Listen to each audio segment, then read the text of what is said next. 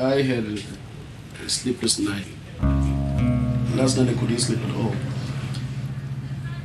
I was so scared. I don't know how many cigarettes I smoked. Because I remember like last night, like most of my friends were there at my place. Like they were just there like as they usually do.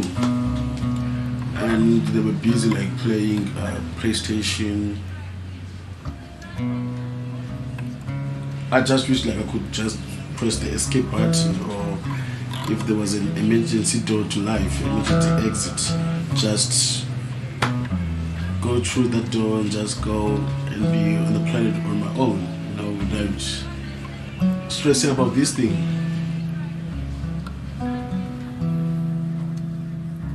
The closer we were driving, a few kilometers, like we were heading to the center, it was like I'm digging my own grave, you know. Fear is natural. He asked me last night right, that I, uh, do you want to do this? So I said, oh yeah, yeah, I will. Then I doubted that. No, I'll not. I'll not do it. Decisions like this, they're not made. They're, made, they're not made overnight. You know, mm-hmm. they're well processed, and because you have to prepare your mind, your heart, and soul. Because the thing is this: if you just say you're gonna do it, and then you find out that wait a sec, I'm positive. So now you have to struggle with how you yourself gonna accept it, and how you, how your family gonna accept it, you know, how people that you are impacting gonna accept it. So now there's more question that comes afterwards.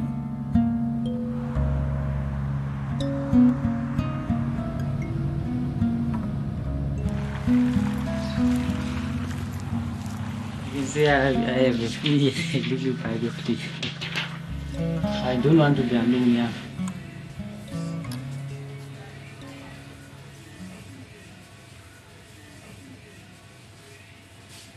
it's for my own benefit at the end of the day. Because like this is my life and I've got only one life to live. I might come from the smallest house, but I'm coming from the biggest home.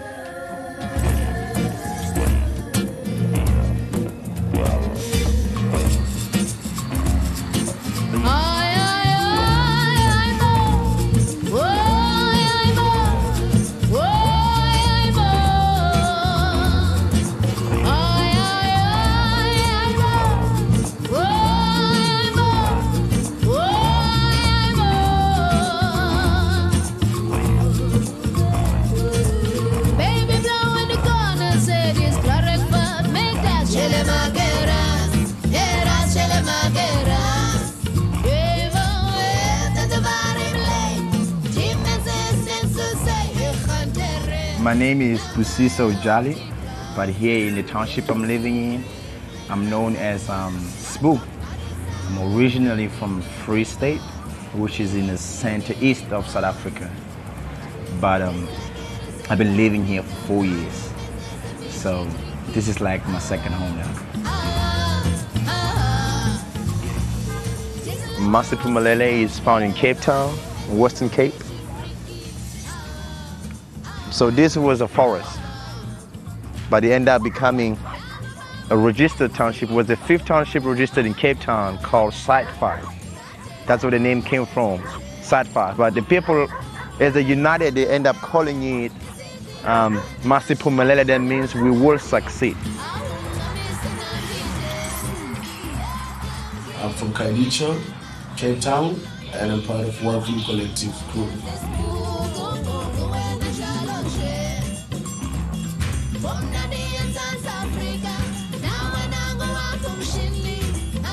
Mainly, most of our, our stories, like we focus on our community in Khayelitsha, but not only in Khayelitsha, we, we focus mainly like in all uh, Cape Town townships.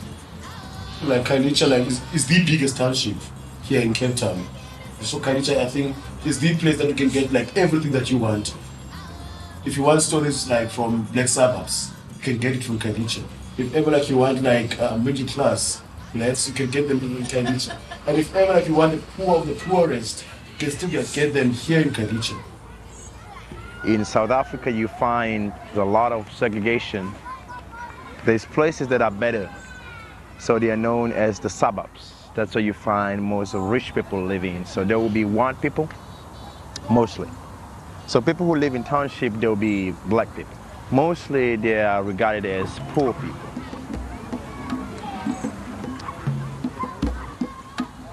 Africans, especially as you find them here in Masi, they don't even know that they're poor. You come to them and say, you're poor, you don't have food, you don't have da, da, da. They're like, what are you talking about? I'm satisfied. They're always warm welcoming you. Even if they had the last food in their house, they're gonna give them to you anyway because they, they're a giving community. There's a lot of needs in this in this community. I really felt that I wanted to be part of that. And we believe that the cornerstones or the people that can be, you know, the, the assets, you know, people that can really uh, help meet the needs are locals. So um, I've been really working with men who've been reaching out to other men. I call them my leaders, I call them my friends. They call themselves mighty men of Macedon, you know. Masi is really beautiful. We have a lot of issues in Masi. We have um, drug abuse, we have alcohol abuse, but the one that is really big is HIV.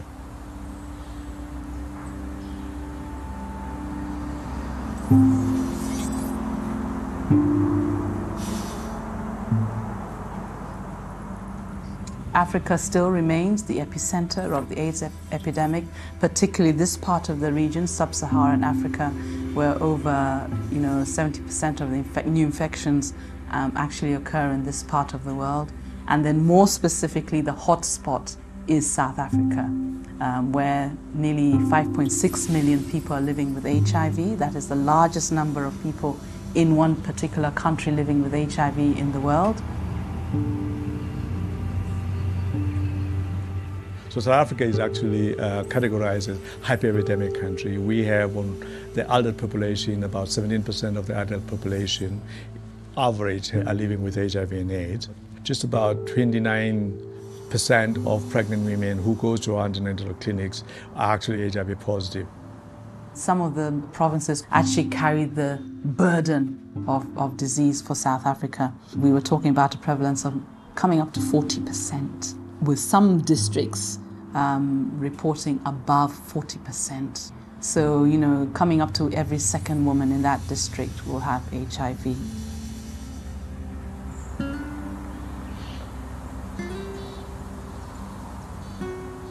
HIV is like many other conditions that disproportionately affects marginalized populations.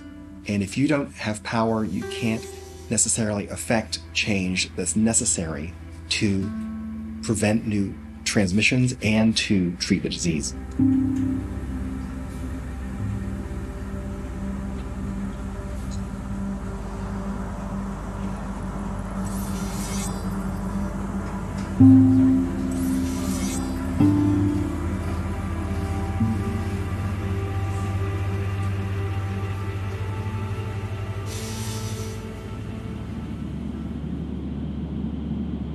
You know, when you get there, you meet with the counselor. But then when you're sitting with the counselor and explain, uh, you know, the whole process and everything, so it's kind of it becomes more intense, right? And then they will ask you a question: Do you really, really want to do that? So that's why you have to process these questions before you go, you know. So then you are ready for whatever comes. But uh, you want to be ready, though. I, I just wanted to ask a couple of questions. You, you um, have you had HIV tests done before? I had one long time. It long, was long time four ago. years ago. Four years ago. Okay.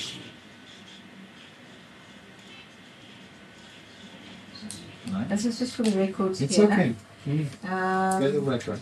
it, uh, there are no results or anything. It just says that Mm. it's, will say that from a legal perspective you come into a clinic. So, your first name? Uh, S I B U S I S O. Scusi. It's a beautiful name. Yeah, absolutely. It's a zero. Are you Afrikaans or English? Um, yes, Which one? yes, both. Think about Um, there's a there's a whole a questionnaire that we're going to go through. So it will be a personal, one-on-one explanation. If you if you if you've been li- living dangerously, or if you've been li- living uh, i- i- with HIV in Right. any way, if you've taken any chances or anything, um, that's what we're going to be taking a look at. How deep do you go? How deep do you dig? Well, it can get a little bit hairy, but we'll, we'll see. I'll try as fast as fast as possible not to get too deep. Okay. Let's go deep.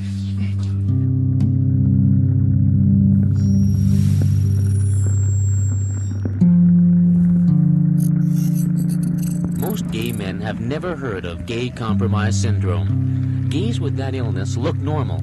Their problem is they've lost the ability to fight off infections and cancer. Of course, the main question is why only gays get the disease. In the very early days of the pandemic, um, even before um, people began to recognize that it was in existence, there was this whole knowledge around um, HIV being based in the US, that it was a gay epidemic, and, and all the rest of it.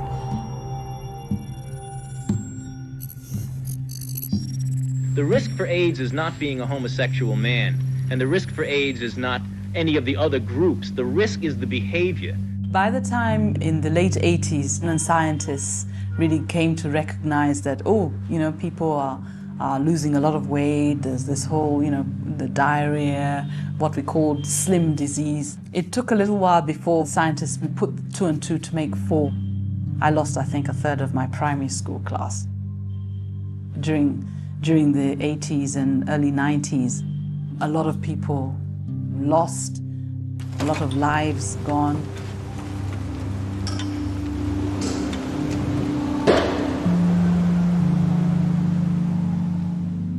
My own activism around HIV was in the 80s. You know, I, and in those days, the issue really that we confronted was within an apartheid state. HIV and AIDS has really the great potentials of creating the division further and racializing it as a black issue.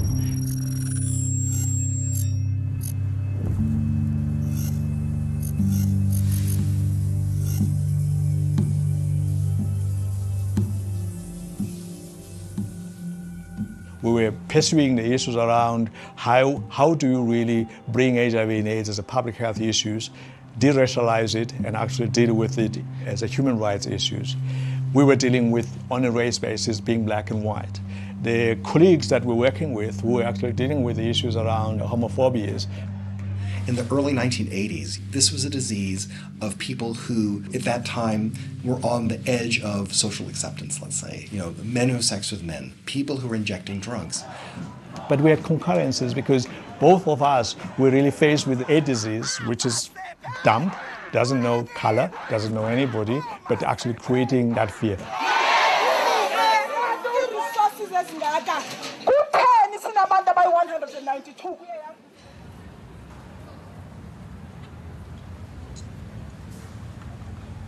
Kutheni sinabantu abayi-192 I never really liked white people because of what happened. So when I was eight, there was um, all the black people, in the community where I was from.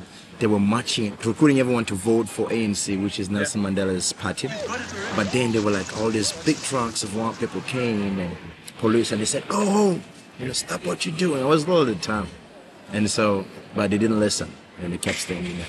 So they started shooting at us. So everyone was like, "Pwah, pwah," running into houses. Da, da, da.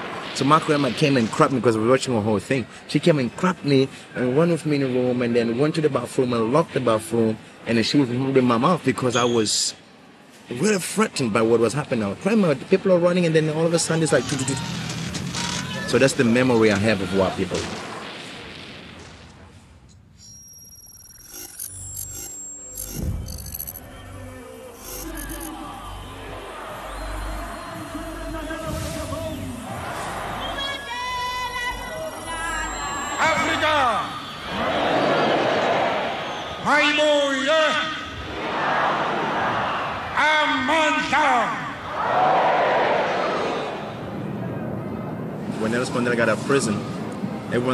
okay, the king is back. It's time to take over the land.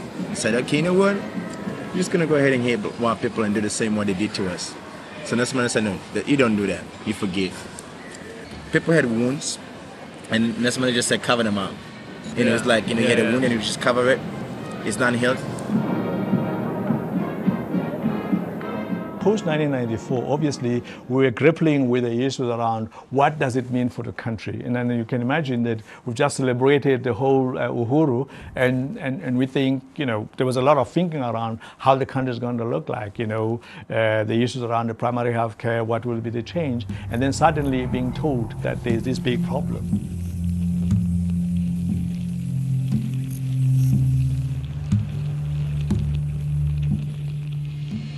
President Mandela has attended his final cabinet meeting in Pretoria. President-elect Thabo Mbeki will announce the new government before his inauguration next week.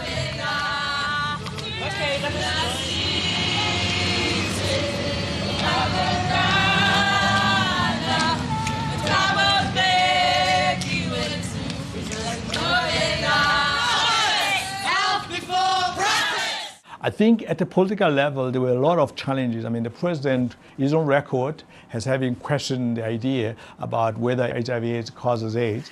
You see, when you ask the question, does HIV cause AIDS? The question is, does a virus cause a syndrome? How does a virus cause a syndrome? It can't. The feeling we were getting was that there was a lot of speak about an African solution. We're going to deal with this in our own way. We don't need the West to tell us how to deal with this epidemic. If the, whether they were even admitting it was an epidemic or not is another story. It seemed to me that we could not blame everything on a single virus. Him and his Minister of Health at the time, Minister Manto Tshabalala Msimang, their level of denialism was so severe and so high that they were causing the deaths of many, many people by not allowing them access to antiretroviral medication. And I think very soon we should be able to put some of these traditional medicines on the shelves so that people can use the traditional medicines and they are cheaper than the antiretrovirals.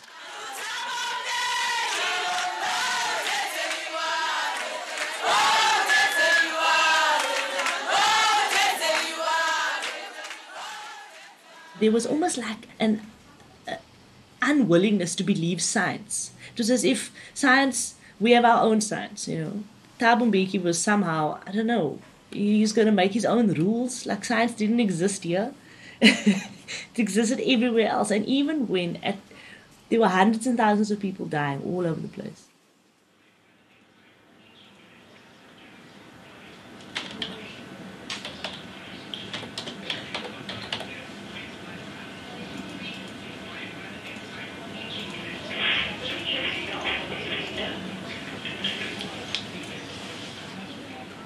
I've got a brother who's HIV positive.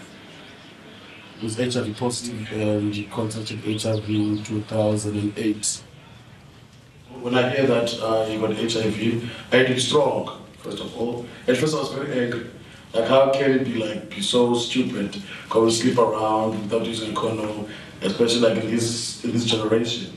And he knows that this thing like is, is like it's in your face you know, and there's also like we've got a hospice in our area where you see these people are dying of HIV. So like we grew up in that in that thing like when I was still small. He was down and out, very sick, extremely sick, and and the reason why like he got so sick was the fact that uh, he did not want to, to, to accept that he was HIV positive. You know. One thing that helped HIV needs to to really grow bigger in mass and be contagious, it's um, we have what we call sangomas, which is traditional healers, traditional doctors.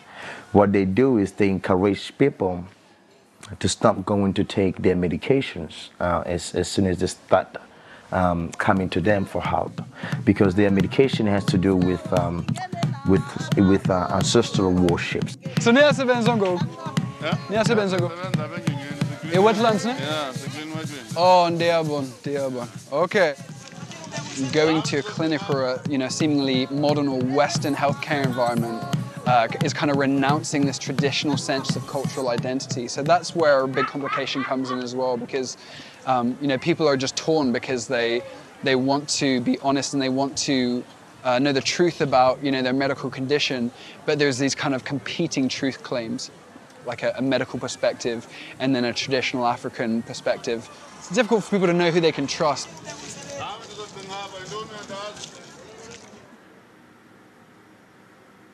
First thing that, that, that I need to tell you is that uh, as far as confidentiality is concerned, what gets done in here stays in here. All right, and it's your constitutional right. Witnesses, you said that.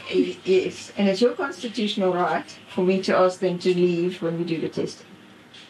Okay. Okay, if I create a testing. If, pardon? If I create a testing. If you agree to test, um, even for the conversation beforehand, you've granted in your rights to say, would they please leave? And I can turn the camera off too. Just tell me and I'll put it on. Okay. okay. All right. When, when we're doing this test, we are going to be using a, a rapid um, HIV test. I'm not going to open it right now, just in case you decide not to go that route. My uncle went for, um, he went and tested by a local clinic.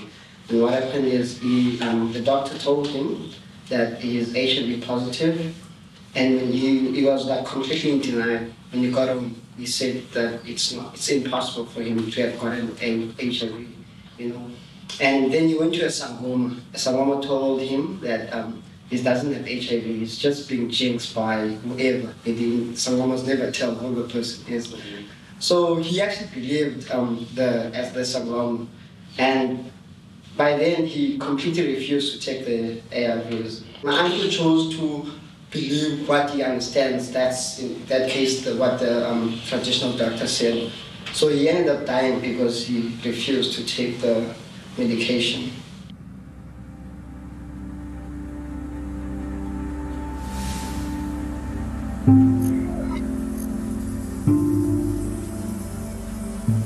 In Toronto, in 2006, in Toronto, at the AIDS conference, the exhibition stand for South Africa had garlic and olive oil and the African potato on a shelf.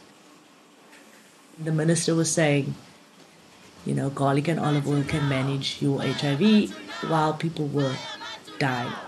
You will see that the group that has been working on garlic, on lemon, because lemon has got a lot of selenium.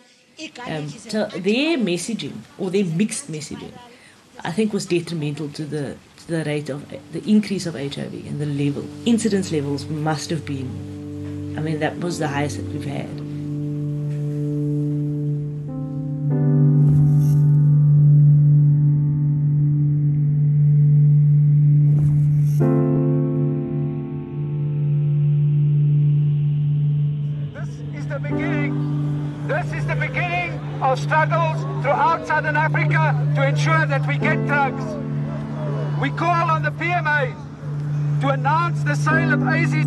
Government at 180 rand for one month course for a pregnant woman or rape survivor now. 180 rand now. We used protest, civil disobedience, and the court, as well as fighting with pharmaceutical companies to lower their prices. They spend more on Viagra than they spend on our health. Community Media Trust started by Jack Lewis and Zackie Achmat with the Treatment Action Campaign, which was a huge um, organization which fought for antiretrovirus to be made available in the public health service in South Africa during a time of huge denialism by the government at the time. It started out as very much as a right to health, a right to live, because at the time so many people were dying. It was a very obvious these are the medications that help you live with HIV, and the government's not giving them to us.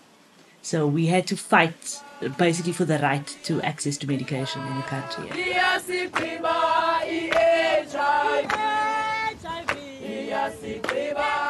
After the years of denialism and the years of not getting medication, what that did was it spread the disease faster than anything else could have.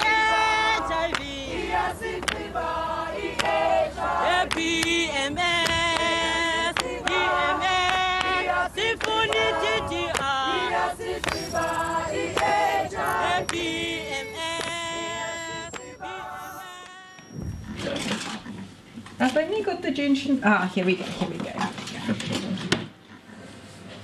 Now it's far more likely that a woman would pick it up, or she's in, in, in much more danger of picking it up because semen would stay in the vagina for a longer period of time. Okay, if the, if the man is infected. Hmm. Whereas the, the length of time that a pe- penis is in the vagina and in contact with vaginal fluid is a much shorter period of time. Hmm. Because the same semen stays in the vagina for much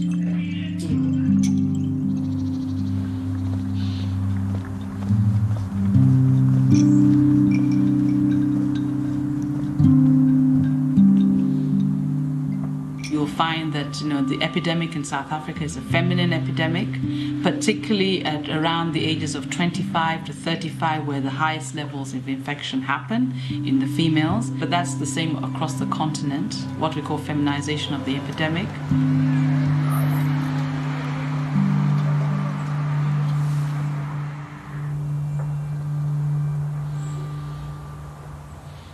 In many of our societies, gender relationships are very, very important.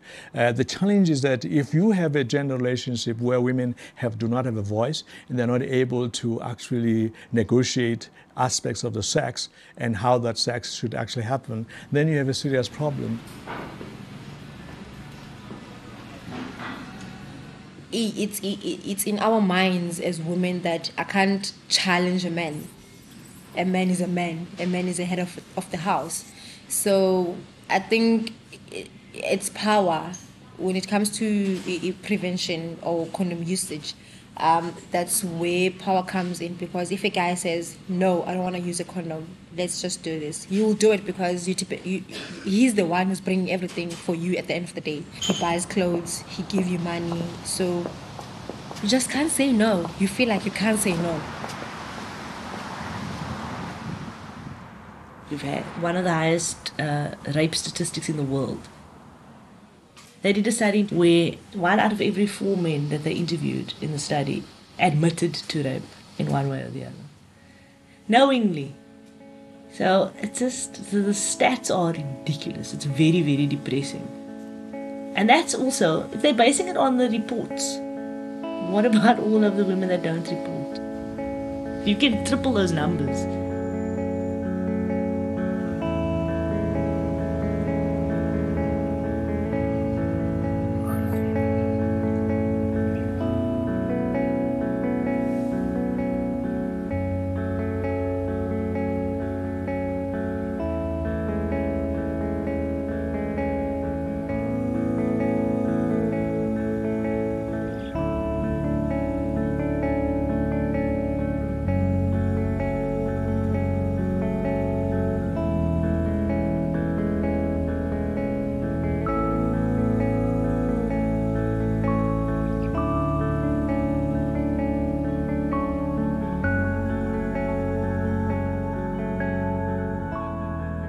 Women were never going to get to a point where they were going to be able to negotiate safer sex because of the sexual discrimination, because of the gender inequality, because of the second class status of women. There's still patriarchy and there's still male supremacy, and it's still ingrained and internalized in us there's still women who may not be commercial sex workers in my community, but are certainly transacting risky sex for something, whether it's a good meal or a place to stay, or just to have a man on your arm for a night, or to have somebody just treat you right for a little while. That we're still willing to take those risks because of those identities and because of those set and established uh, ways of being in relationships that we have not yet broken out of, regardless of the risk that HIV poses to us. It's about economic independence. The levels of poverty have to change. Who earns money has to change. The level of education has to change until young girls are educated enough to get a job and look after themselves so that they can deal with those issues by themselves or make an informed decision. Then all of those issues will remain the same. Only once you have your own money can you say, No, I'm not going to sleep with you because I don't need airtime. because they know okay if i promise her that i'll buy her brazilian hair i'll make her beautiful than she is then she'll go for me that's why you see a lot of us like craving sugar daddies with a lot of money because we want to be beautiful And I just think we are beautiful the way we are. We don't need extra beauty. Because without that makeup, then or without that Brazilian hair, without this weave, will a guy come to you? Okay, yes, a guy comes to me because of this weave. But what if I take it off Take it off. at night? At, not now. Don't be silly.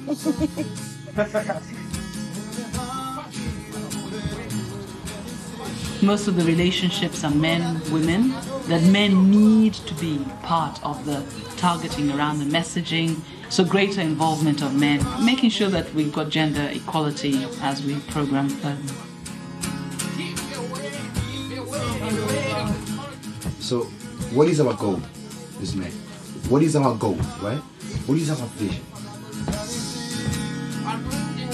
I was such a ladies man, quite a ladies man. So I didn't really respect women. I didn't see value at them at all. So because of that, I would date a girl and then I'm dating this one, I would look for another one, I'm dating this one. So I really never respected them. But I was really looking for answers. I was really looking for answers and saying I want something that can can make me to be me and to be a faithful a faithful guy. You know, learn how to be faithful.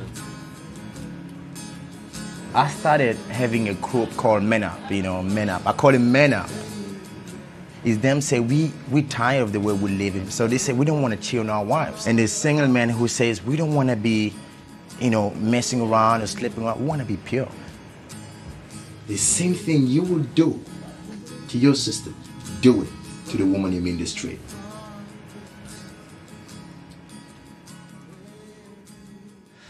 The major social norms that we, we try to address, and these are difficult ones, are expectations around what women should be, um, expectations about what men should be. Um, those are very, very difficult to challenge the stereotypes of motherhood, the stereotypes of um, you know, a man being entitled to sex, um, being um, naturally promiscuous, etc.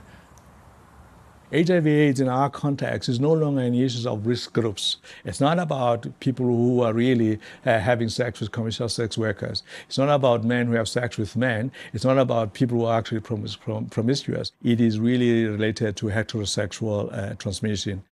It's uh, long-term relationships, people who are cohabitating on long terms, who actually regard themselves as, as low risk, and in a manner then they don't use condoms, and this is really where the HIV infection is, is coming in. Do you use condoms? I haven't had um, any sexual intercourse um, for a very long time. So, but I used to before. I mean, before I tested, I used to, and this times where I didn't, you know? So that's why I was not sure what is happening. In our surveys, we ask if you ask people if they use condoms, they say yes. Then, do you use condoms every time? No. So there's also this issue of yes, I use condoms most of the time, but you know, there's, there's some nights. Oh, I've got my main girlfriend. I love this one, right? So we don't use condoms, but my, I use condoms with my other girlfriends. Like we call them spares and besties.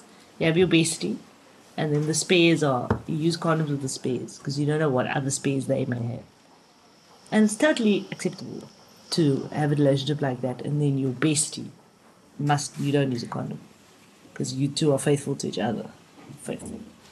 I think like people like first of all, to be honest with you, people are cheating outside, left, right, and center. You know, mm-hmm. and we have this person that really loves you, you know, who's there for you through thick and thin, and then at the same time, there's this girl on the side who's always come with mini skirts, and and, and and yeah, you're always like tempted. You know, it's not like you love her, you know, just that like, just a shake. You know, And what do you and that is a problem out of that, and that's when the problem starts. You know, because it's just a shake now, and then like tomorrow, feelings develop between the two of you guys, between the two of you, between the shake and and, and, and you, and then after that, like for a very long time, like you fall in love, and then like you live a double life. Now you're lying to your girlfriend, you also like lying to this side, and then the next thing, like maybe like You see also another this thing- temptation. and the problem is like you people do not know you're cute and all of that. And what do you uh, uh, I'm like, okay. Come to Papa. Go. I also don't want to disappoint them. Maybe like make them feel as if like I'm a I'm a loser or something. So you're doing it for them? Yeah, we knew we. no, no, be honest and tell him. Ah, but not alone, Mary, come on. Yeah, he's so quiet. So, what does a person with HIV look like? They look like you and me and everybody else until they get very sick. Um, people living with HIV infection, uh, you know, at least during the chronic phase of infection, which in an untreated person can last maybe as long as 10 years, um, looks healthy. They don't feel sick. You wouldn't know that that person has HIV infection. Now, on average, most of these people then, I mean, if people don't get treated for HIV and AIDS, people will progressively become ill and progressively they will die. On average, it takes about 10 years or so for people to be very sick. Probably after 10 years when they are sick, probably another two years, if they don't get any interventions, most people will actually die. Um, when we're testing in a clinic like this, we're not testing for the virus, we're testing for antibodies. Antibodies. If you're, um, if you, if you, if the test does come up positive and you're infected with the virus, it doesn't mean you're sick. Right? There's a difference between being infected with the virus, having HIV, and actually being sick with AIDS. That's when um, something else will come along. Uh, you'll get have flu, um, TB, and your body can't cope with dealing with more than one virus or bacteria or whatever, one more than one illness at a time. Mm. And that's when the HIV virus it, Takes over. it really takes over altogether. Antiretrovirals is the term we use for the medicine to treat uh, HIV. It's a retrovirus, so these are drugs against a retrovirus, antiretroviral. How do antiretrovirals work? They prevent HIV from copying itself or replicating. HIV is a virus that has a predilection for binding to a certain very important cell in our body, the CD4 cells. And it uses the machinery of the CD4 cell to make copies of itself, and in doing so, destroys those cells these cells are the managers of the immune system. And if your CD4 cell count gets too low, which is what happens in HIV infection, then you become susceptible to a host of infections that normally wouldn't affect anyone with a competent immune system or a functional immune system. Antiretrovirals block that replication process in the CD4 cell and allow and therefore protects the CD4 cells from destruction and allows them to maintain at the normal level. In a person whose CD4 cells have been damaged by HIV and they have a very low count, by taking this medicine, their CD4 cells can replicate and grow back to near normal levels. Uh, it's very much like a Lazarus effect. You know, you have these people who are near death, very low CD4 cell counts, and then with potent therapy, their immune system's able to heal and come back. And then, of course, there was the groundbreaking research which shows that, you know, treatment can be used as a means of prevention. We know the science behind um, antiretrovirals is that they, they, they work in the body to reduce the amount of virus, HI virus. So even when somebody's on antiretrovirals, um, the viral load or the amount of virus of HI virus in the blood never goes to zero. It's always there, but it's at a level which we call undetectable, and it means that it's less likely to be transmitted to the next person. In fact, if you're on antiretrovirals from the very beginning, you will not spread HIV because your viral load will be so low. And there are PrEP studies now between um, serodiscordant couples, which is one living with HIV and one without. If the partner who doesn't have HIV is on PrEP, which is pre-exposure prophylaxis ARV treatment, all the studies prove that there's a 90 odd percent chance that they don't get HIV. It's not transmitted to them.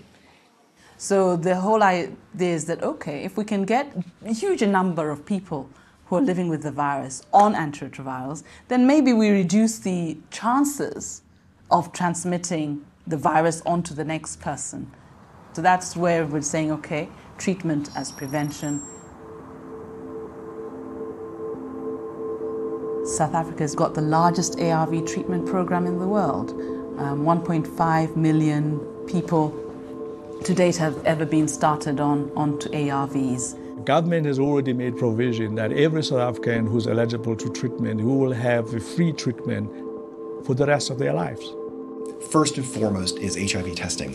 People have to know they have the infection to be treated and prevent transmitting to others, and they need to know if they don't have the infection to take advantage of prevention interventions. Early diagnosis is the key.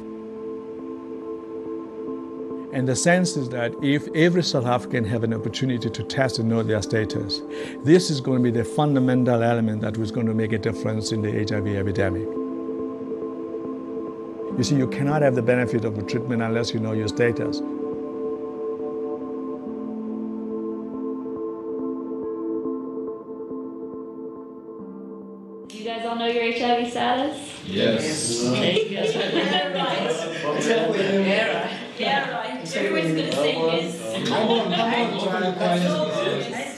Last time I went to uh, to COVID test, it was in 2010. Uh,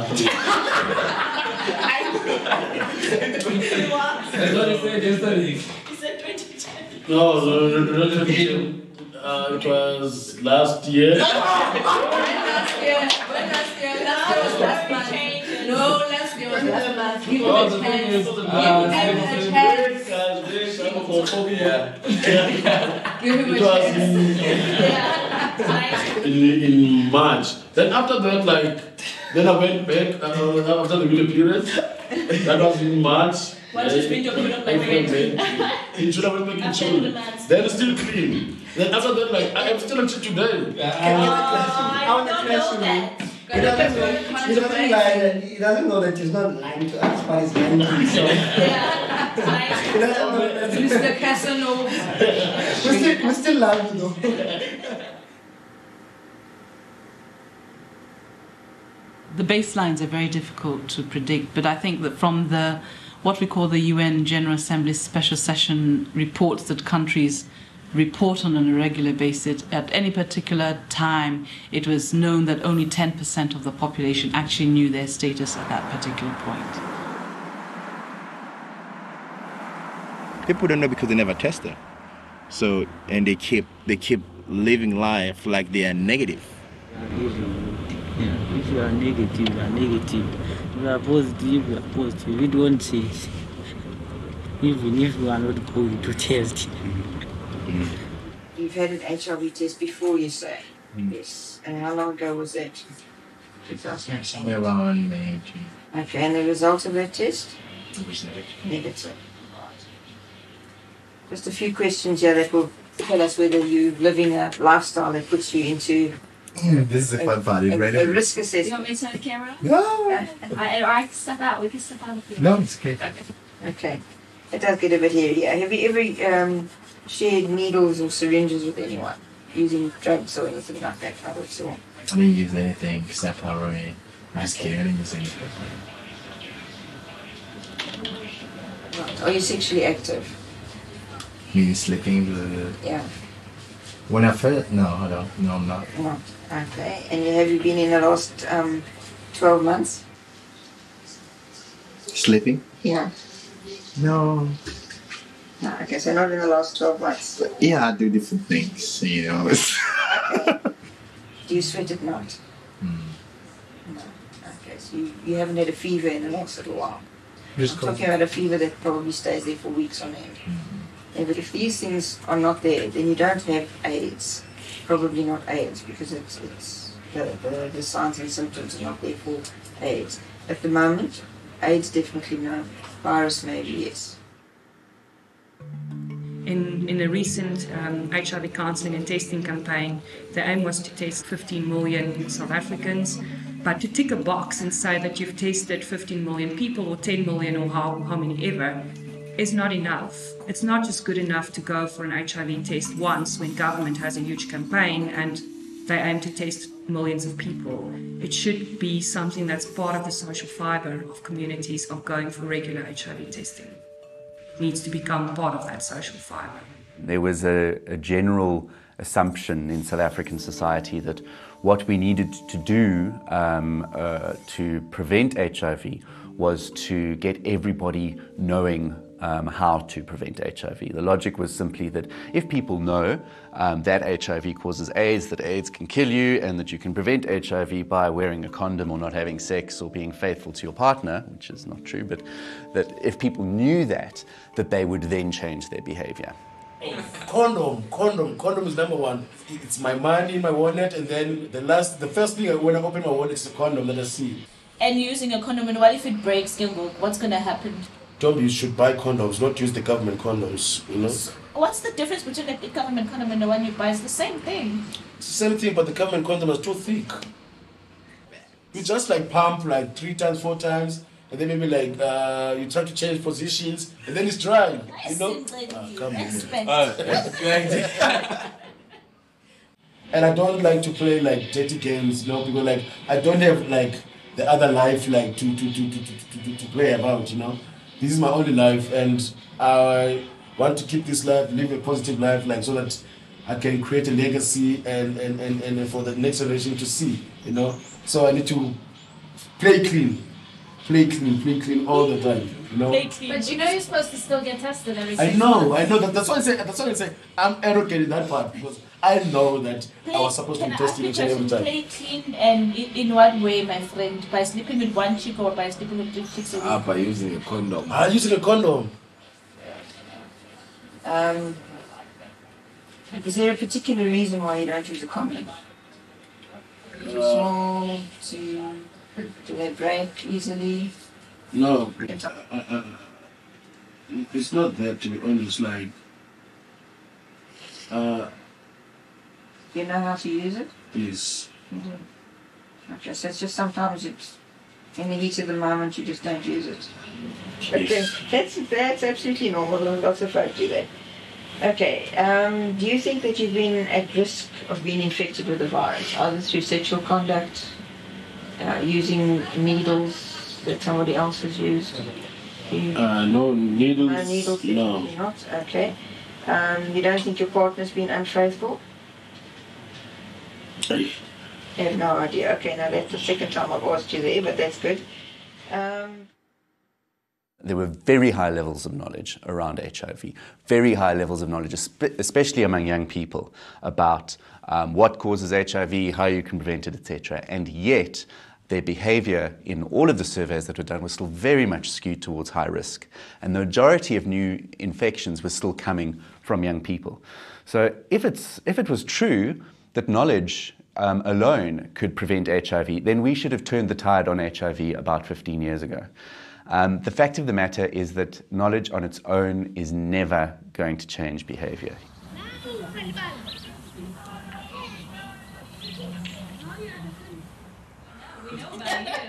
we can see you. This is how we test. That, that- that- that- this is how we test. With the girls. We just make girls pregnant and then she must go and test. And then if she comes back negative, then, you know negative. then I know I'm, I'm, I'm, I'm negative.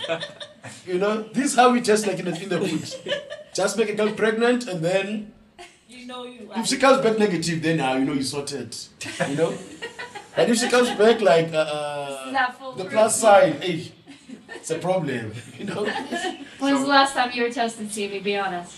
Uh, to be honest with you, Two it years was uh, uh, not two years back. It was Oh my last year in March. So you do. You're due every six months. I I'm know. due. I know. I, I, I know. We did a literature review and some focus group discussions to see why, what were the barriers to testing? Why were young people not going to test? Um, and what we found is that there were four main fears that were standing in their way. Um, the first fear was, was quite simply fear of self knowledge. It's knowing that you have done something that has got you HIV. So the, the knowledge itself of what you've done. The second one was, of course, you know, we're quite familiar with the concept of fear of, of death and dying. So, you know, AIDS is still associated, even though the treatment rollout has been so effective. Um, with with you know illness and death. The third and fourth are, are, are closely linked, and they are also quite familiar. The fear of of dimis- uh, discrimination. Um, firstly, um, from your family, so that your family won't understand. You don't want to tell your family. You're scared of how they're going to react. They're scared of how going to, they're going to treat you. Are they going to throw you out of the house, etc. And then fear of the response of friends and community. So your your your social setting, um, reacting negatively towards you, denying you opportunity, treating you badly, alienating you, etc. If you have to confront the fact that you may be someone who's doing something that puts you at risk for HIV infection that the rest of society may not endorse. So you may be a man having sex with men, you may be injecting drugs, you may be a woman who's having multiple sexual partners, um, you know, these sorts of things. If that's a problem that you can't face and society is burdening you with that, it can make it difficult to go and get an HIV test.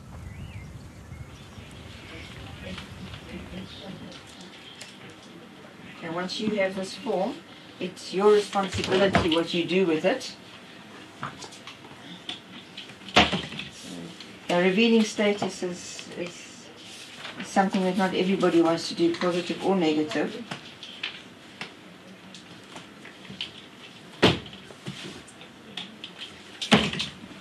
Unfortunately, it does have a stigma. It's not like blood pressure or any of these other things. The real issue around the stigma with HIV and other STDs and unintended pregnancies and women's sexuality and all other kinds of uh, beliefs around sexual behavior and sexual expression is that the real stigma is around how we deal with sex, around how we approach sexual conversation, sexuality, sexual identity, sexual expression, sexual pleasure. All of that gets stigmatized. I mean, I guess because, again, it's connected to uh, something that is, in some ways, yeah, stigmatized or demonized, that, um, that the connection to HIV and AIDS is this idea of, um, uh, like, sexual promiscuity or having many partners, and people are, are not sharing their status before they have a sexual relationship. We also have to make sure we're addressing the stigma just around illness. How we use or misuse the word normal in, in the context of health and well being. So the person who's infected actually gets into this what we call personal stigma, where you then stop doing things and going out and, and even seeking access to care. I know people who said they'd rather die than go and get treatment. When we have conversations about how are we going to end white supremacy or how are we going to end white racism? Well, it's not going to be black and brown folks that end it. It will be the white folks for whom that racism is a benefit. And it's the same thing around feminism and gender equality, right? Women are not going to be the ones to end sexism if men don't end sexism among men. Well, it's the same thing. While the presence, the respect, the love, the acknowledgement, the celebration we have for the strength and for the beauty in people living with HIV who step up and step out, it's not up to them to stop the stigma. It is up to us. Would you take an HIV AIDS test? The uh, sitting where I sit, again, HIV test or not, I think is irrelevant to the matter. It's, it might be dramatic and make newspaper headlines. But would it not set an example? The president taking an AIDS test? No, but it's setting an example within the context of a particular paradigm.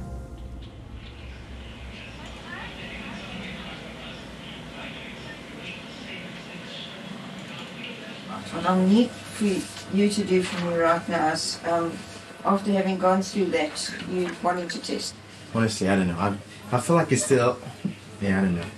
It's mentally for me because I made this decision that um, when I get my my girlfriend, then I want to go do this. So I haven't. So, but now I have a girlfriend at the moment. Okay. Well, you need to go and think about it carefully because as a, as a role model, um, it is not a bad idea to have the test done. Being a role model and actually having the test done is one thing. Revealing the result of the test is another thing again. Um, and you know, is there is there any thought in your mind that you might test positive? Is that is that what's keeping you from testing? To be honest, I don't. I don't know. I don't know. But I don't want to think like. I don't know. But I don't Okay, well, I'm gonna just mention because that, that's some, sometimes there's an underlying maybe I am. It is a scary thing. Yeah, yeah I don't know. Because I, I yeah, I'm, I'm, I don't know. I just don't know. To be honest. What I don't understand is number one, like, it's when people are dying, are dying of AIDS. You know? And then like, I don't understand like why people don't like just go and get uh, the medication that because it's free at the end of the day. So that's what I don't understand. That's what I don't understand. People don't want to be seen at that hospitals. They It's don't what- want to be seen at the hospitals, and it's still there's still denialism, and then there's still stigma. Many people still choose to keep their HIV AIDS status a secret. Gugu Dlamini was murdered after revealing her HIV AIDS status. I think of the stories of the bravery of women like Gugu Dlamini, who was a young woman in KwaZulu Natal who was fed up with the discrimination and didn't want to die in shame and in silence and disclosed her status publicly. She was an activist who joined the Treatment Action Campaign in KZN um, and then openly in a some public event said that she's living with HIV and very shortly thereafter. First she was harassed. Um, she went through extreme stigma from her community because she was open about her HIV status. And then eventually she was beaten to death by her own community. It was very, it was a straight up stigma related beaten to death because you're living with HIV. And I mean that was that was many many years ago, and it was the very first tag T-shirt I had Gugu Dlamini on the back of it. So I always relate the T-shirt to her story. It is almost like that level of stigma caused that T-shirt because we wanted to say we're all HIV positive. Who are you going to beat now? You know, everybody's wearing one. We have to acknowledge and, and live in the light of what makes us different. But we have to do our work at what makes us common and what brings us together. And that's the same way that we're going to address stigma in HIV and in sexuality and in people's rights and in people's dignity. When a sister sitting next to me who is just as fly and as beautiful and as engaging and doing, you know, all of her own ambitions, going to school, getting the job she wants, doing the work that she thinks is uh, that is the career path for her, and then disclosing that she's HIV sends a different message that resonates with women in a different way. Our flagship television show is called Siyanqoba, which means overcome in Zulu. So we started the show as a way to normalize just talking about HIV, talking about living with HIV. We tried to change HIV from being this having the stigma of being a the sexually transmitted disease with all the model issues that come along with that and try and normalize it to be just a chronic illness like diabetes, like high blood pressure, which can be managed and treated. If you see someone like you dealing with a health issue, it makes it easier to understand, makes it easier to absorb.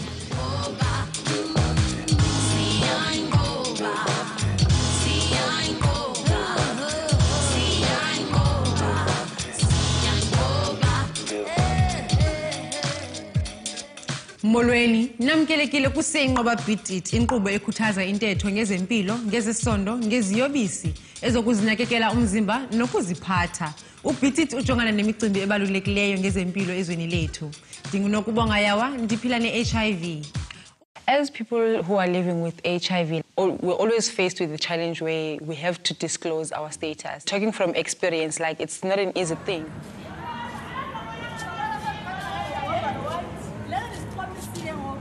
Started hearing people gossiping around, and the gossip will come and come and to my ears, and people will come to me and say, "Hey, is it true that you're HIV positive?" Or you hear people talking around like in, in groups, and there was this day like I became like angry to a point where I stood on the street and I was like, "Okay, yeah, I am HIV positive. like, get a life.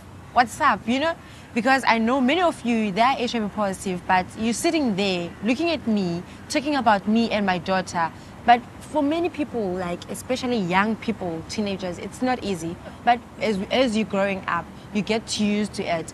You, you get to meet people who are HIV positive. You share. Uh, you share stuff, you share your experiences. In that way, you learn from other people.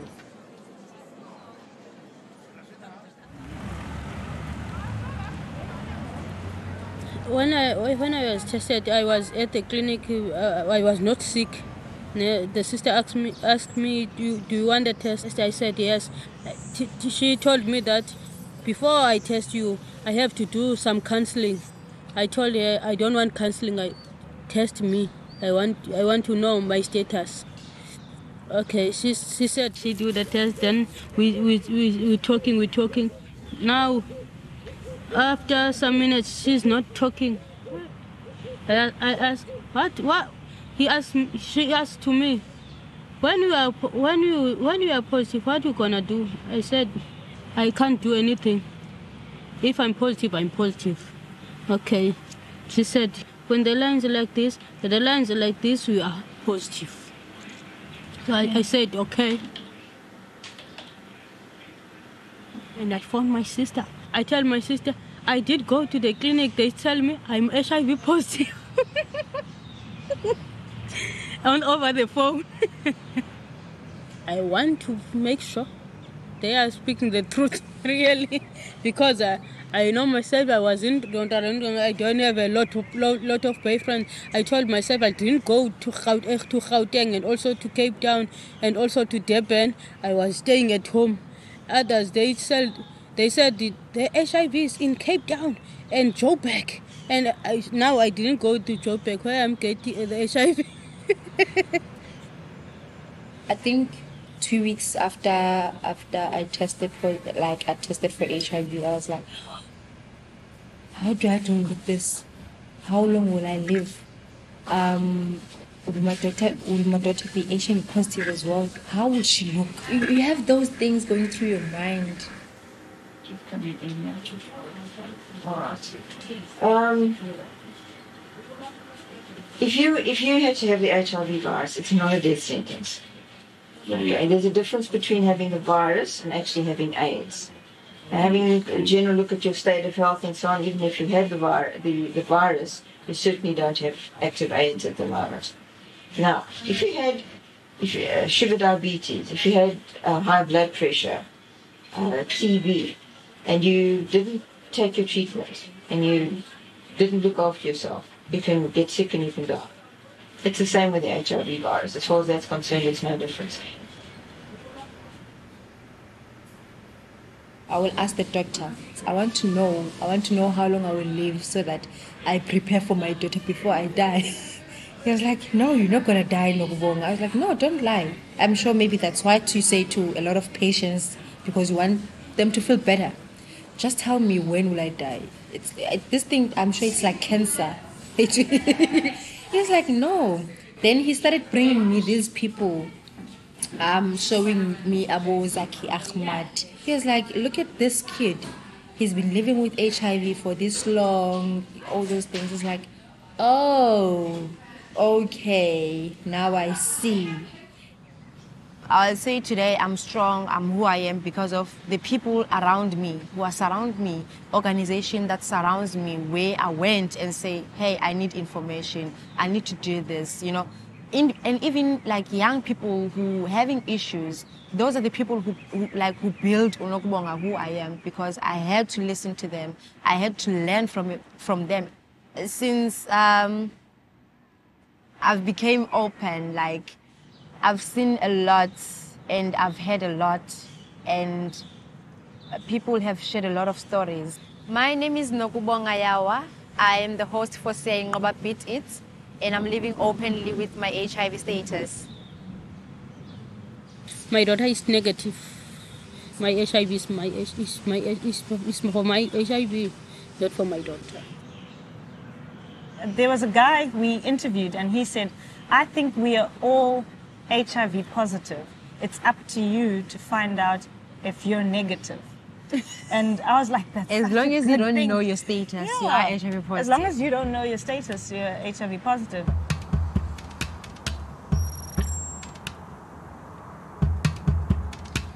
HIV AIDS treatment in South Africa is completely free.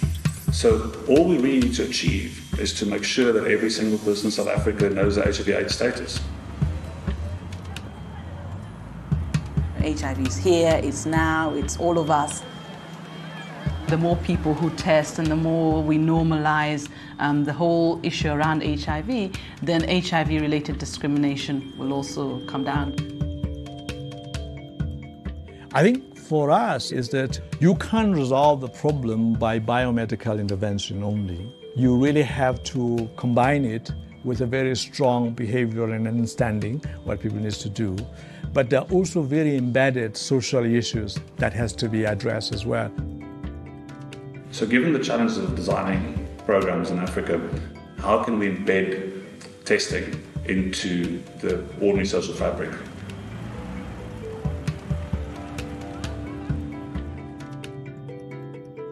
So, for the last 15 years, I've been studying peer to peer influence and social influencers and how they spread behaviors through social networks and therefore through society. The science of social influence isn't new, but it's been going through an incredible transformation in recent years. Social influence was only observable to a very small extent prior to Facebook and Twitter and email and mobile phones that now give us data on not one or two people interacting in a conversation, but a quarter of a billion people sending messages that are time stamped to the second. That kind of data can really give us an understanding about how information and behaviors are diffusing through social networks. This newfound ability is giving us really a new lens on human behavior. And I firmly believe that we're on the brink of a scientific revolution and a revolution in our understanding of human behavior.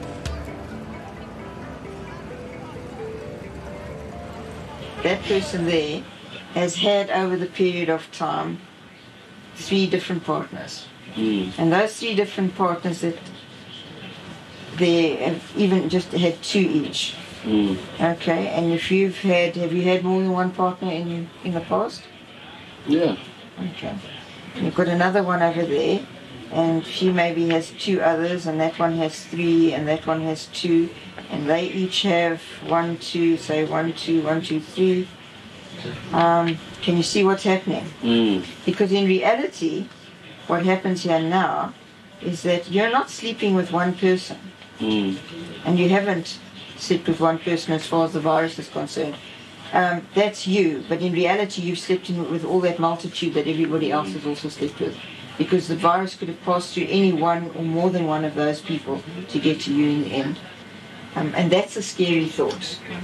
It's a very scary thought because the, the It's scary thought, but it's a reality. oh, it's an absolute reality. The epiphany for us in thinking about how to apply the science of social influence to the prevention of HIV transmission came when we really thought about what kind of a disease or virus HIV really is. It's a social disease. It spreads through social contact, which leads to sexual contact, and that's the primary mechanism through which HIV is transmitted. So we said to ourselves, why can't we reverse that logic and spread interventions against HIV the same way the disease spreads itself, namely socially? Why can't we think scientifically about spreading HIV testing through peer influence and social influence from person to person to person? Social support has a powerful and unique ability to directly counteract social stigma. In the end, this is a social disease. It needs a social cure. The more we know and, and the more human connections that we make, the less stigma that we allow to, to flourish. So that's why I think normalizing conversation around sex and sexuality is really important. This is my African mama. Hi. Hello. Wendy. I think you know what happened in our community is that our community, our locations are very small. So I think we've got a lot of HIV because of that. And then really, if you can come and talk about it, and the other people are talking about it, everyone come and come, and then even the kids that are growing up, they can be very fluent about it because I'm, I'm really worried about the kids. Maybe they are not fluent. They are- like, for instance, I'm the mother. I, I don't want to lie to you. I'm scared to talk about it to my child. So if someone like you So probably or don't like speak you- about it, right? Exactly. It's our culture. I can't help it. But even someone like you and you come and talk with her, she will know more than me because when he came in my house, I'm not talking about it. So I, I know there won't be something wrong. yeah. So, the reason why social influence is so effective is first that we trust our friends and family more than any government organization or company billboard telling us how we should behave. If that advice comes from our friends, uh, or family members, we're much more likely to trust it. Secondly, our friends and family know us so much more intimately than an advertiser or the government does. So they know how to speak to us in a way that will most effectively motivate us to change our behavior. And I think it's something that we're, like everybody really hungers for is that, um, is a connection with other people that's authentic. Do you know what I mean?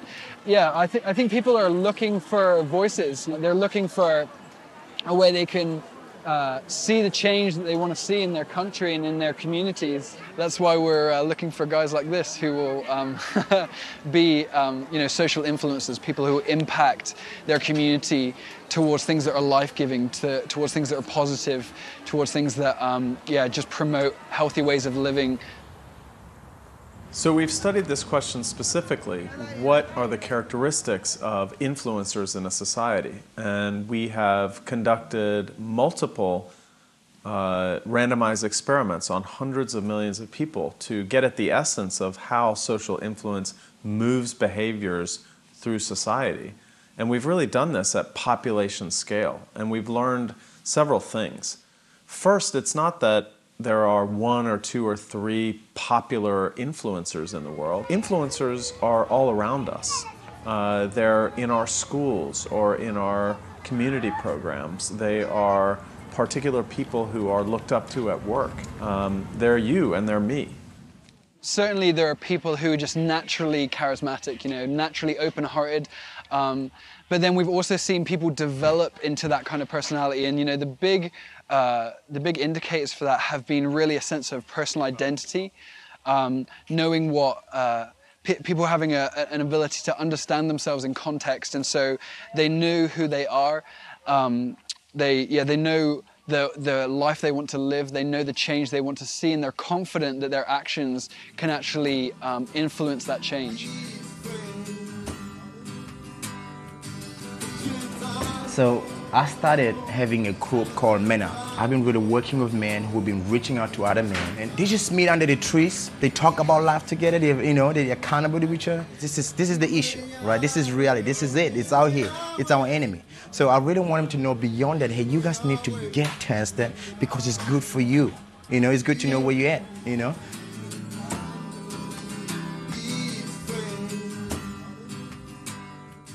We're looking for local young leaders. We're looking for your friend, somebody that you look up to, um, your older brother or sister, somebody who is who lives in the same street as you, same social background as you, who's facing exactly the same social challenges that you are, but is responding to them in a different way. We're working at each and every day, like we're making films and we try to change people's lives and we try to change people's perspective on how to view life and also like we try to heal people at the same time with the stories that we tell. And we tell these stories like these are stories from Khayelitsha. You know, it is a place of, of, of dreams and dreams are possible to be realized in Khayelitsha. If ever you have like the, the, the, the, good support of people around you, like for example like my team, you know, but I still remember the first time I met, uh, uh, I, I came to know CMT.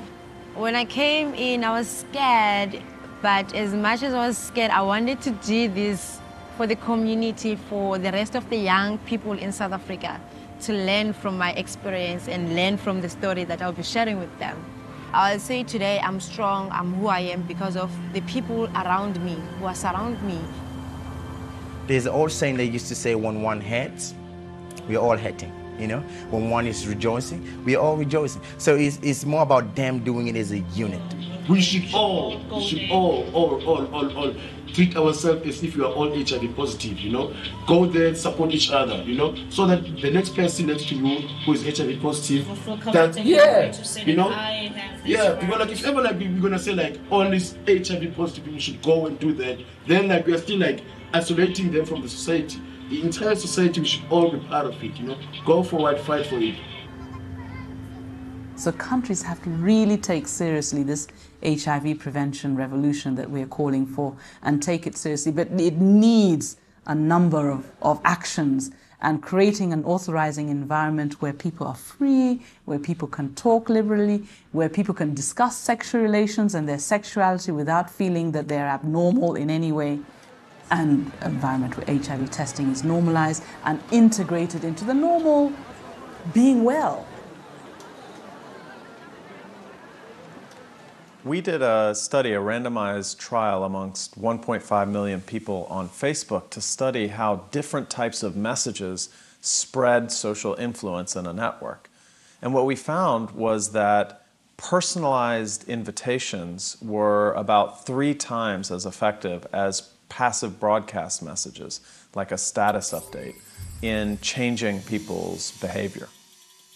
The other big advantage to personalized invitations is what we refer to as stickiness. What's the likelihood that someone sticks with a behavior long after the influence message has been sent? It turns out that people are much more likely to stick with the behavior and make a habit out of it upon receiving a personalized invitation. By the way, we're going on Friday. We're gonna all go get tested. I hope you guys come.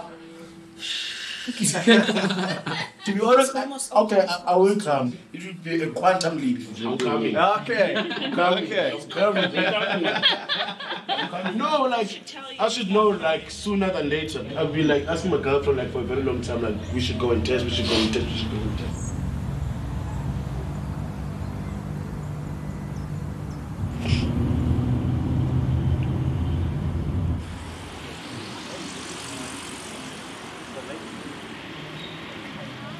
Asked them, I asked them many times, I said, you sure, you sure, my guys?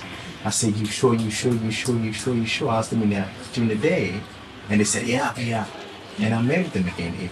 I said, let's sit down, tell me you sure. Mm. And they said, yeah, sure. Right? And then they, they start saying, but I'm scared, I'm scared. And I said, Mr. Dust, no.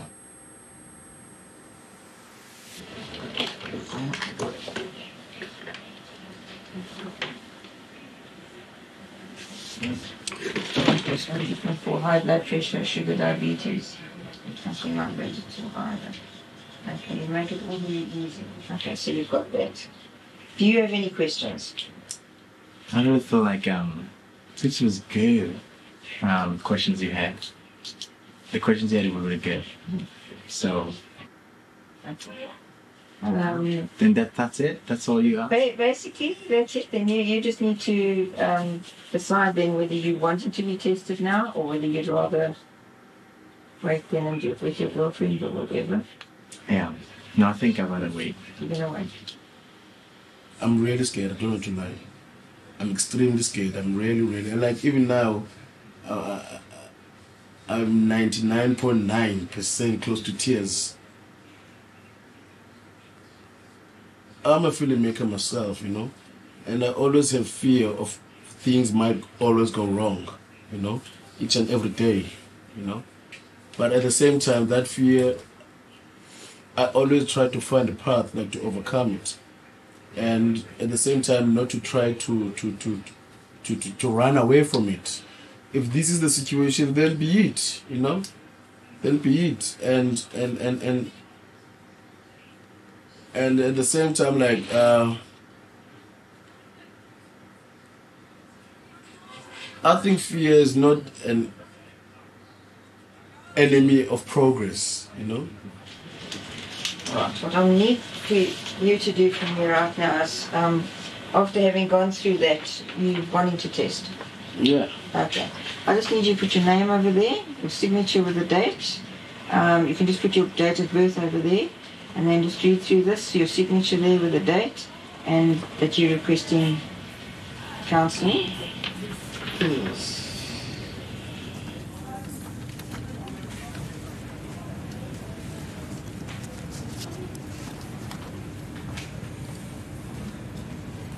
Have you been tested before?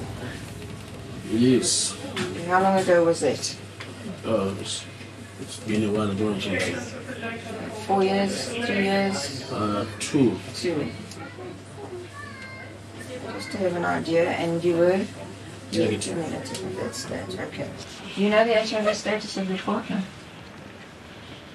uh, the last time she also tested she was negative. negative And that's a while ago. yeah because I wanted to come here with her, but she was also scared. And you're ready now? Yeah. Okay. You may fill in the consent form there. I want to ask you another question at the moment. Okay. So what I'm going to do is I'm going to just prick a finger. I'm going to use this one. You tell me that this one has less nerve endings on and you don't feel it quite as much. Just a little prick there. Just a drop. There.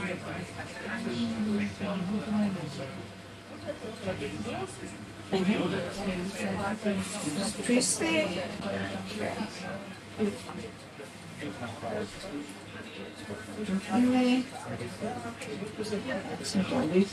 The test takes about between 5 and 15 minutes for the result to come up.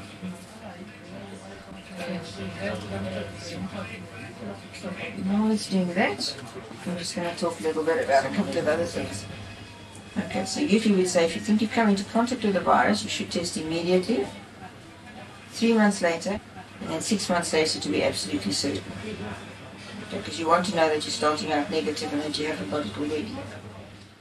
Um, that just tells me where you've, um, that, that you do sometimes have risky behavior, so you can have, could have exposed yourself to, to.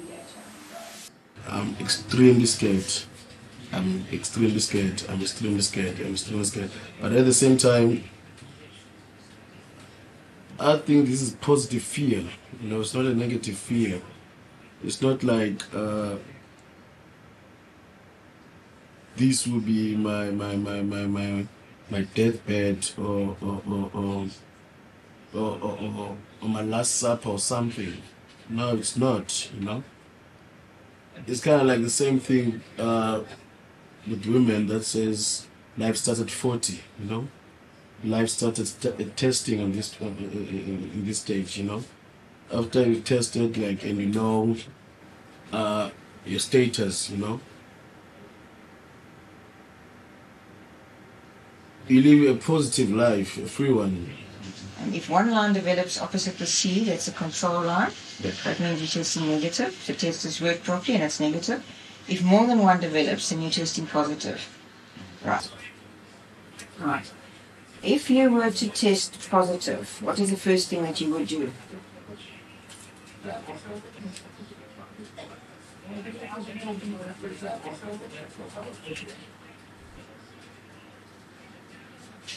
I talk to myself Okay.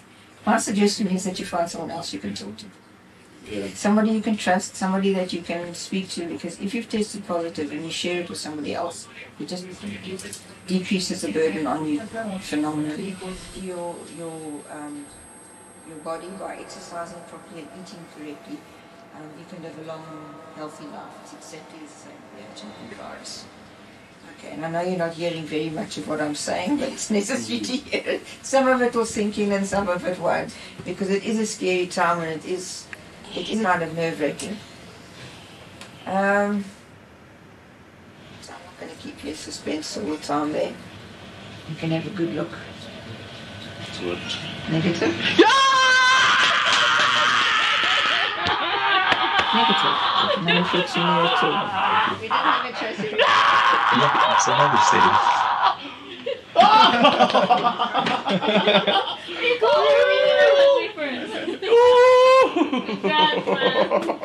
Congratulations.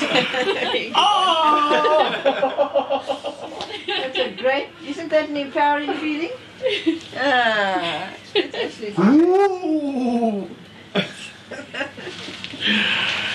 yes, yes, yes, yes, you.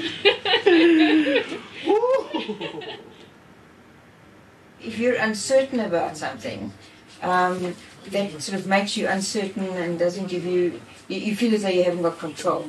Okay, basically what it does is, is if you have knowledge one way or the other, uh, it, it does give you that, "Oh, I know uh, that I'm negative, or I know that I'm positive, I know that I've tested, I know exactly where I stand. I know how to live my life from here forward. I'm, I'm calling my girlfriend. I'm calling my girlfriend. Oh. You have to come along and she'll feel a lot Oh. I'm the man. but no, but at the same time, no, no, no, no, no sleeping around without a condom. It's like you said earlier on, it's like getting a fresh start. You, you just said it yourself.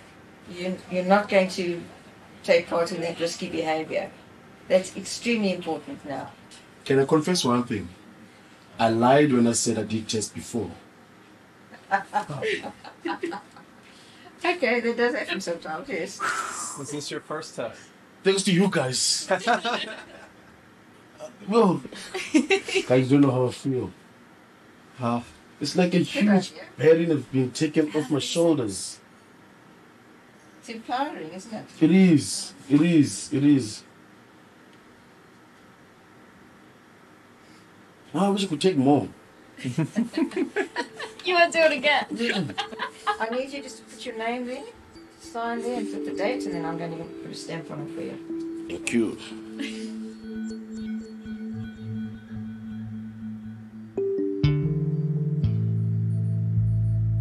The epidemic, what is evidence is that South Africa is making really great strides in trying to address this. I mean, obviously, AIDS is a global problem, um, and we're 30 years into the epidemic now. And in, uh, fact, um, towards the end of last year, we, we developed a strategy as UNAIDS as we move into the future, saying it's now time to get to zero. And hence our new UNAIDS strategy, which is really around what we are calling three zeros um, really aiming and saying it is possible to achieve and really target zero new infections, HIV infections, zero preventable deaths due to HIV and AIDS, and zero stigma and discrimination related to HIV. So globally, there's certainly been progress over the 30 years, but there's a lot that we know that could be done. The reason the virus is, is able to uh, survive so long is because there's a, a wrong perception, and it is wrong, that HIV is in certain communities and not mine.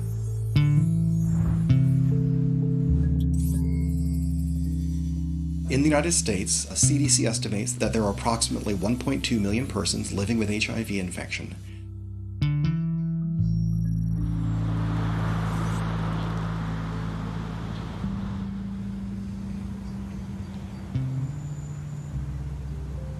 HIV is a disease that takes advantage of marginalized populations.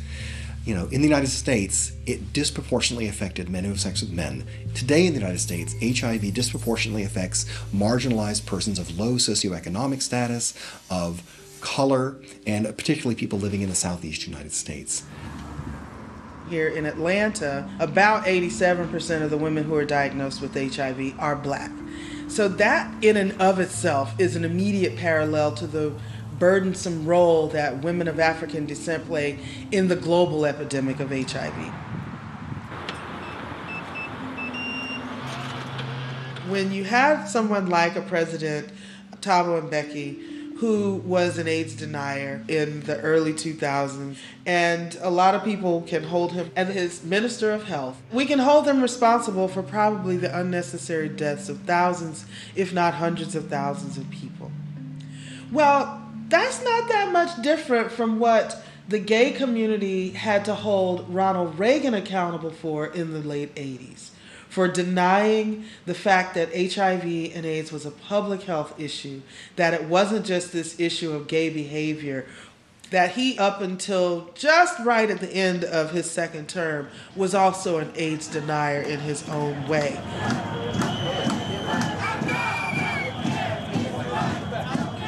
And so the mobilization of ACT UP, AIDS Coalition to Unleash Power, and how that moved beyond Reagan and even into um, the Clinton years, even holding Bill Clinton's feet to the fire, if you will, was the same type of movement albeit a little later, that started with the treatment action campaign in holding Mbeki, and then later holding Zuma and the next presidents accountable.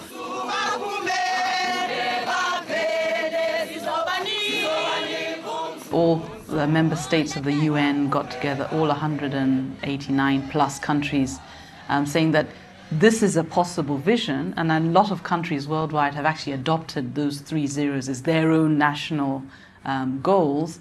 Um, in order to be able to do that, we're going to have to do things very differently.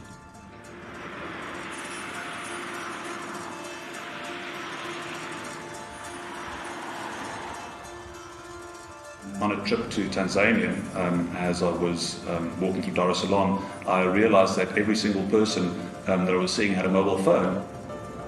Even if you are a very rural, poor person in South Africa, you, do, you might not have access to clean drinking water, you might not have access to electricity, but chances are very good that you will have access to a mobile phone.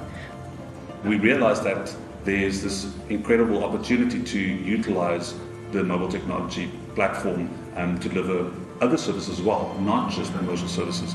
By using social methods and, and getting people to spread the message from person to person. You can harness the social effect of groups of friends and groups of people influencing each other in doing something really life saving, like going for an HIV test. This is how we communicate today. This is how we get our information. These new social platforms are enabling our messages and our influence to travel farther and faster than ever before. We have to decide as a society if we want to harness this power to get people to click on Facebook ads or to make the world a better place. This is an awesome responsibility, and we have to all realize that in essence, we're all role models now.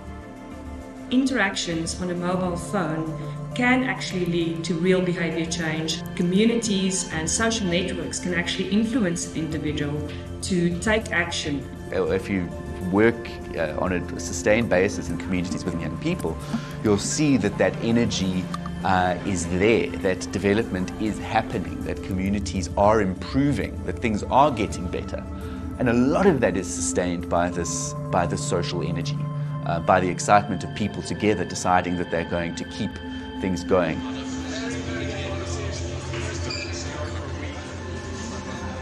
And still today, like I spend maybe two hours or three hours before I go to bed replying on Facebook messages, um, BBM, you know.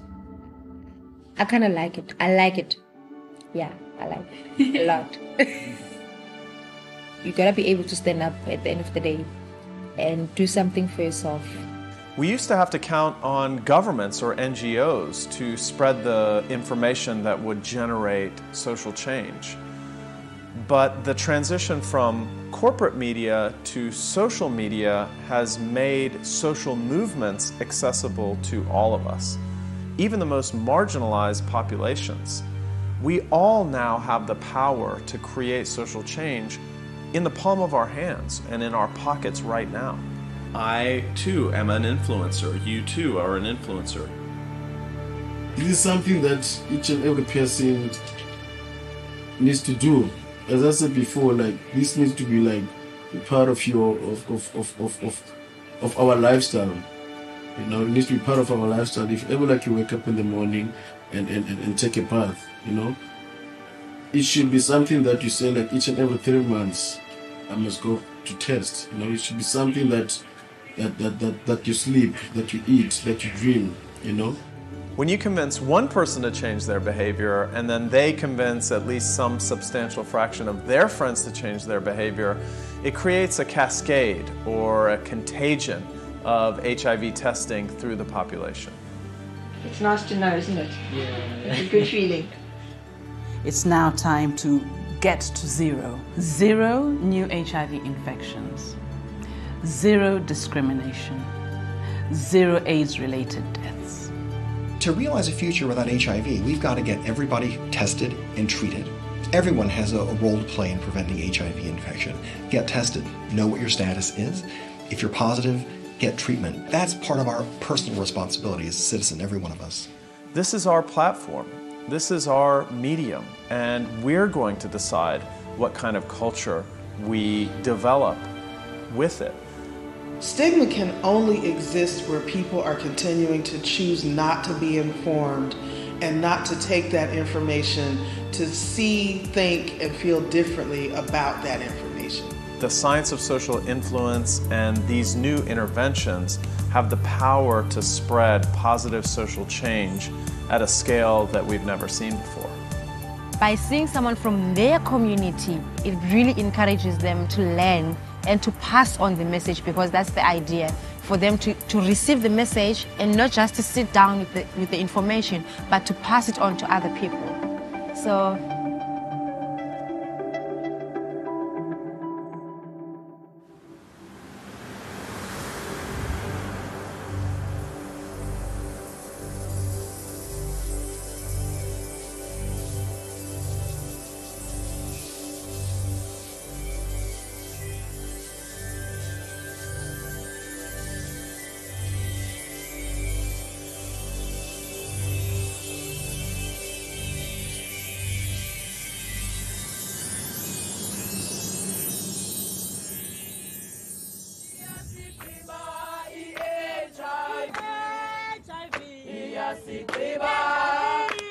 Iya sitima, iya sitima, iya.